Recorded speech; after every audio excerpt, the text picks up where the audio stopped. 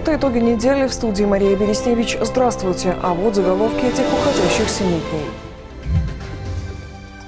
Белорусское гражданство, отечественный автомобиль и музыкальный слух. В стране проходит кастинг вокального шоу «Фактор Бай». Когда прослушивание?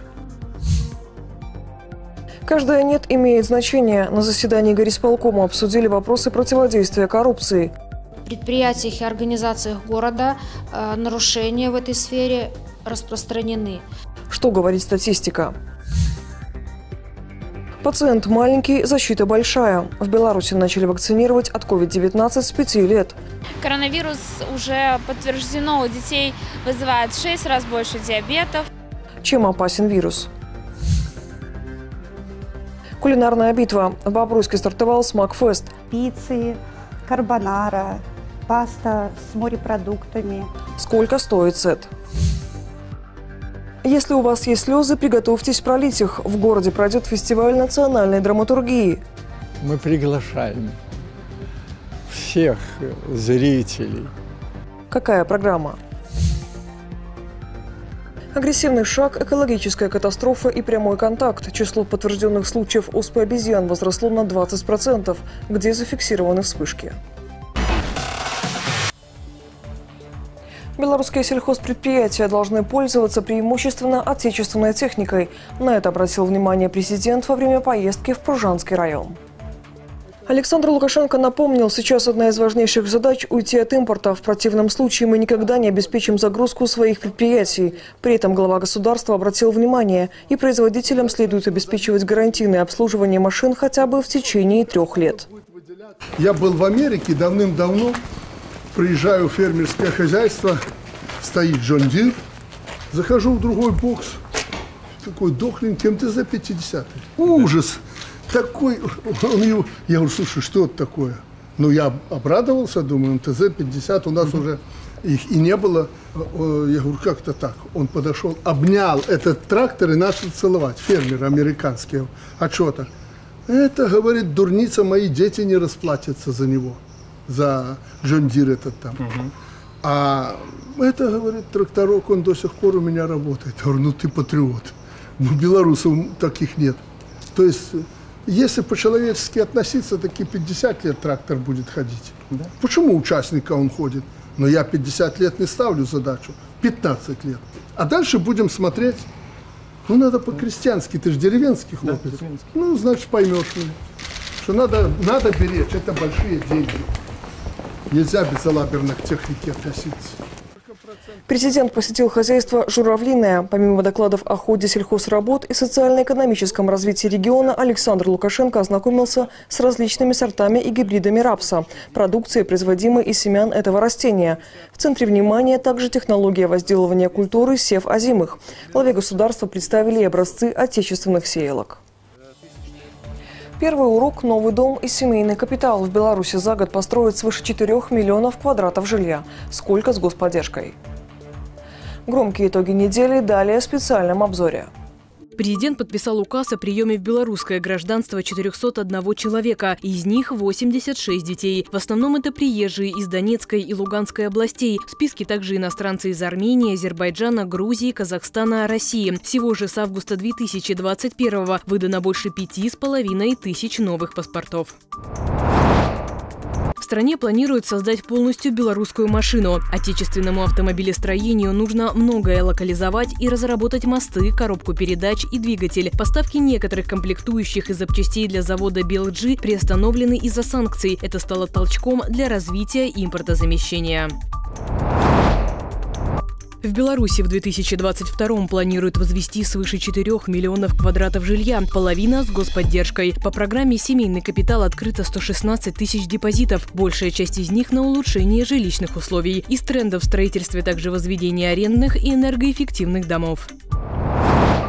Названа тема урока 1 сентября. В исторической памяти сила и единство белорусского народа. Приоритетом остается идеологическое, гражданское и патриотическое воспитание. Для церемонии вноса и выноса госфлага создадут знаменные группы. А со следующего года в каждом учреждении появятся музеи, посвященные геноциду во времена Великой Отечественной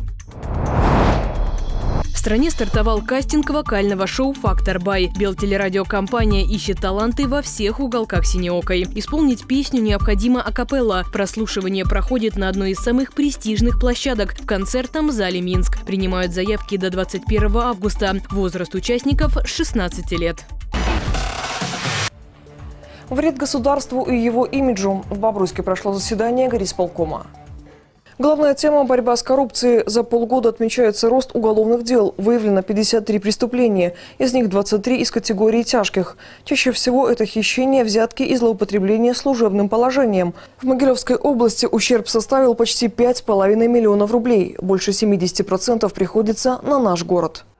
Проверки показывают, что в предприятиях и организациях города э, нарушения в этой сфере распространены и многочисленные. Коррупция наносит вред не только самому государству, но и его имиджу. Одна из самых распространенных проблем – нарушения при закупке товаров. Причина – недостаточная квалификация сотрудников, так как организация не проводит обучение. На заседании поставили задачу руководителям. Отчитаться по этому вопросу нужно до 1 декабря. В новый учебный год в новом образе. До Дня знаний остается всего полторы недели. В родительских чатах активно обсуждается школьная форма, цвет, фасон и практичность. Тем временем предприятие «Беллегпрома» предлагает свыше 337 моделей детской одежды делового стиля. В продаже уже 800 тысяч трикотажных изделий и 50 тысяч пар обуви. Удовлетворить спрос готовы и в Бобруйске. На модном fashion-показе от славянки побывала Татьяна Горбач. Фирменный почерк славянки, лаконичность, элегантность и сдержанность, стильные бомберы и жилеты, современные палаты и кюлоты, классические сарафаны и блузы. Выбор есть. В коллекции осень-зима 2022-2023 представлены 50 моделей. К новому сезону на предприятии готовились основательно. К пошиву приступили еще в феврале. Вот на сегодняшний момент уже а, отправлено нашим покупателям более 55 тысяч изделий школьных более 40 моделей для девочки и 17 только для мальчика. И цены. Самое главное, мы выполняем рекомендации Министерства антимонопольного регулирования и торговли, по которому у нас рост цен по сравнению с прошлым сезоном должно быть не более 6%. С сентября у каждой школы появится свой отличительный элемент – эмблема, нашивка или галстук. На швейную фабрику обратились десятки учебных заведений со всех уголков страны. На предприятии не отказали никому. Работают по индивидуальным заказам. Из-за ажиотажного спроса трудятся даже по субботам. В бригаде у меня работает 30 человек. Два месяца мы уже работаем э, со школьной формой. Э, вот уже мы выпустили 5200 единиц. Это различный ассортимент. Блузы, жилеты, жакеты, джемперы, брюки. Надо вовремя отшить, вовремя отдать в торговлю. До 1 сентября рукой подать. Пора покупать обновки. Подобрать стильный лук в фирменном магазине может даже самый привередливый юный модник. Разнообразие впечатляет от классических до casual моделей. Акцент на капсульный гардероб. Размерный ряд от 52 детского до 58 взрослого. Базовый комплект для мальчика обойдется в 120 рублей. В него входят сорочка, брюки и жилет. Еще один хит сезона – бомбер в спортивном стиле. Его цена 43,50. Практичность и хорошая посадка в составе натуральной ткани, хлопок, шерсть, вельвет. Допустимо небольшое количество синтетики, ведь вещи не должны сильно мяться и быстро изнашиваться. В этом сезоне для девочек в тренде трикотажные джемперы, кардиганы и широкие брюки. Ставка на удобство и элегантность. Стоимость комплекта порядка 110 рублей. Мы на Славянке одеваемся ежегодно, ассортимент радует, широкий выбор, качество, ну и цены соответствуют нашему кошельку. Сегодня нам нужно купить костюм так как у нас в третьей гимназии в этом году темно-синий цвет, вот как раз есть на славянке темно-синий цвет. Вот купим. Решение о фирменном элементе одежды учебные заведения принимали коллегиально. Администрация советовалась и с родителями, и с детьми. Мнения расходились. Но опросы на сайтах, активное обсуждение на собраниях и в чатах помогли осознать плюсы такого начинания. Конечно же, введение единого элемента школьной одежды – это очень важное, очень позитивное нововведение – которая позволит сплотить ребят, а, воспитать в них командность духа, гордость за учреждение образования, ну и, конечно же, чувство стиля. Родители сделали выбор в пользу галстука. Но мы решили не ставить детей в строгие рамки, не ограничивать их. И совместно с дизайнерами разработали четыре вида галстуков. Два для мальчика, для, два для девочек. Некоторые учреждения образования уже не первый год придерживаются фирменного стиля. В целом по стране их порядка 20%. В следующем учебном году отличительные элементы могут плавно перейти в единую школьную форму. Пока это только идея. С финальной версией предстоит определиться вместе – родителям и педагогам. Татьяна Горбач, Дмитрий Шевцов. Итоги недели. От внешнего вида до хорошего самочувствия в Беларуси начали вакцинировать от коронавируса детей с 5 лет. Прививают китайским препаратом Синофарм только при согласии одного из родителей. Перед процедурой ребенка обязательно осматривает врач.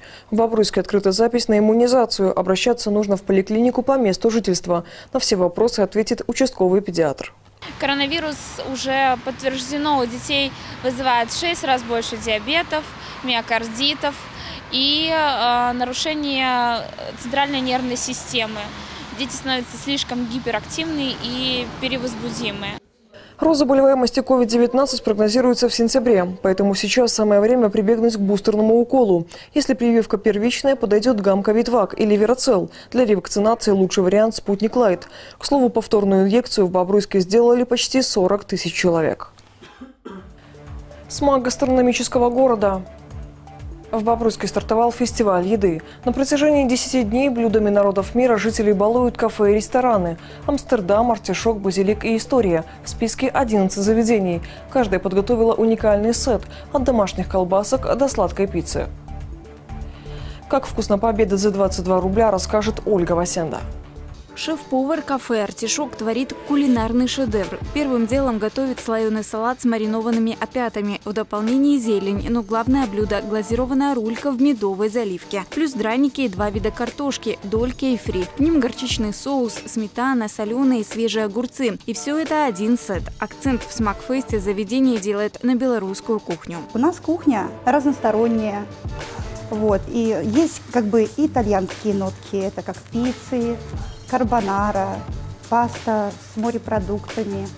Есть салтинбока, которая полюбилась очень людям нашим. Вот. Есть грузинская, будем говорить, всем известный цыпленок табака. Привлекает кафе и доступными ценами. Крем-суп, гарнир, мясное и десерт можно приобрести от 30 рублей. Но уникальный сет обойдется всего в 22 рубля. Хватит на двоих, а то и больше. Общий вес 600 граммов. В дополнение к блюду предлагают напитки на любой вкус. Большой популярностью пользуется караоке. В плейлисте 60 тысяч композиций, от зарубежных до русских хитов. Единственное условие – чек не меньше 25 рублей. С исполнением поможет бэк-вокалист. В заведении три зала, вместимость 220 человек. Летними вечерами уютнее всего на просторной террасе. По выходным здесь играет живая музыка. Работает артишок до 4 утра. Вход 5 рублей. Кухня разнообразная, белорусские блюда очень вкусные. Сковородки сытные, драники, колдуны. Все очень вкусно, порции достаточно большие. Мы, например, заказали пиццу, очень вкусно все, приемлемые цены и качество продуктов. Я вот часто прихожу в артишок со своими подружками, вот заказала свой любимый коктейль, очень вкусный и цена приятная, не такой дорогой и достаточно большой объем. Астория, французская и фруктовая. Три итальянских блюда диаметром 21 сантиметр. Такой сет предлагает пицца Браво. Мягкое воздушное тесто, неповторимый аромат и идеальная начинка. Томаты, моцарелла, маслины, ветчина, солями, изысканные соусы и ароматные травы. Природный вкус и ничего лишнего. Секрет нашей пиццы, наверное, в печи. Там очень большая температура, и тесто так замешивают, что в обычной печи дома такое не приготовишь. А оно быстро схватывается, тонкое, бортики создаются, хрустящее, все идеально.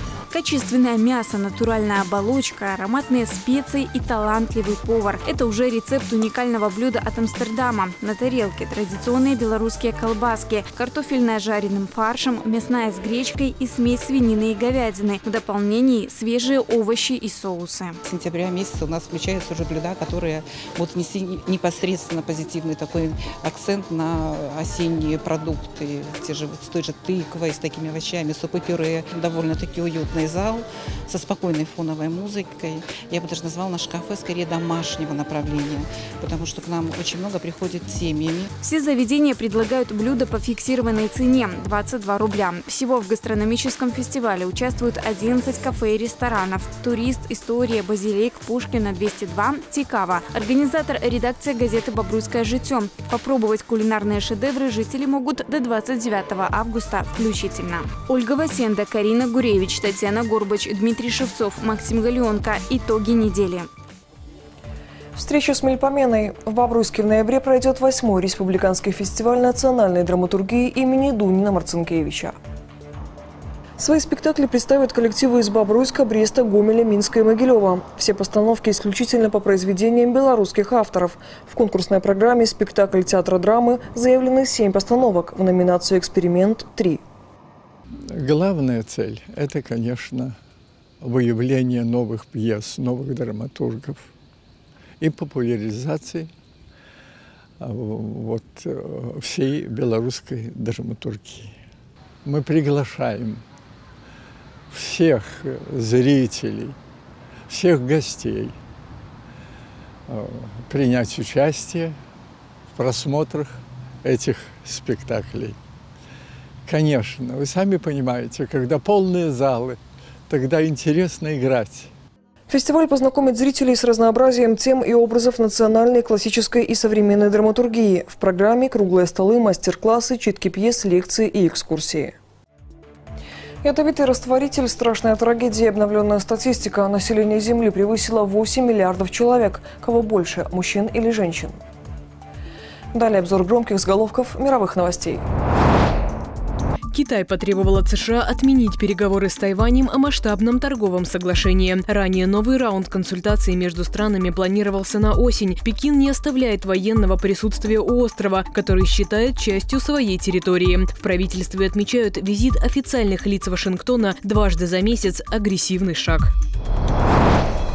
Экологическая катастрофа в Польше набирает масштаб. В реку Одра, которая связывает страну с Германией, попал ядовитый растворитель, из-за чего уже погибло больше 8 тонн рыбы. Стали попадаться мертвые птицы и бобры. Экоактивисты бьют тревогу. Правительство заявляет, загрязнение не оказало влияния на качество питьевой воды, но при этом призывает держаться подальше и соблюдать осторожность.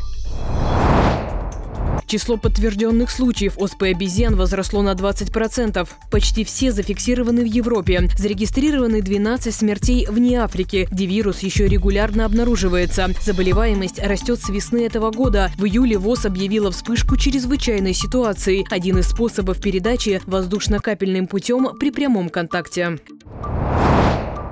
В Ереване число жертв в результате взрывов ТЦ возросло до 16. Под обломками могут оставаться еще как минимум 18 человек, в том числе граждане России. Всего пострадал 61, 12 в больнице. Пожар в торговом центре произошел из-за неправильного хранения легковоспламеняющихся веществ. Население Земли превысило 8 миллиардов человек. Почти 3 проживает в Китае и Индии. Около 100 миллионов родились в этом году. Мужчин на планете примерно на 1% больше, чем женщин. По оценкам ООН, к 2030-му мы достигнем отметки 8,5 миллиардов. В последние годы число людей росло самыми медленными темпами с 1950-го. Такими уходящие 7 дней увидели корреспонденты «Бобруйск-360» и я, Мария Бересневич. Новая неделя, новые итоги. Увидимся.